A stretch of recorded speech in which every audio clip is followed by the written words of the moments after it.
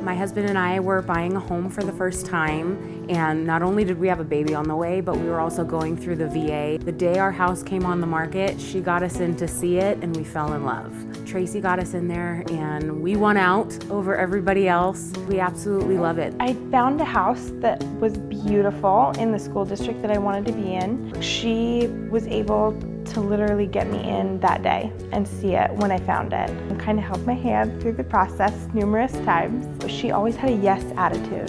The house that I sold closed. A day later, the new one that I purchased closed. It was exactly what I needed. Thank you for considering the Diemert Properties Group for all of your real estate needs. Call us today and put us to work for you.